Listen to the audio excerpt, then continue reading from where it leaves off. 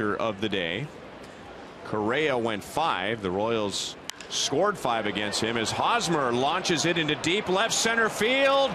Gone for another June home run.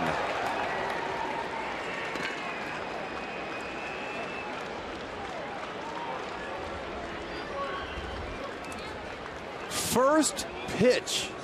Hosmer. That's his wheelhouse. Most guys that hit for homers, they like to pull them. Hosmer will pull them, and he's shown that recently here in this month. But if you give him a fastball out over the middle of the plate and you miss, lately, he hasn't been.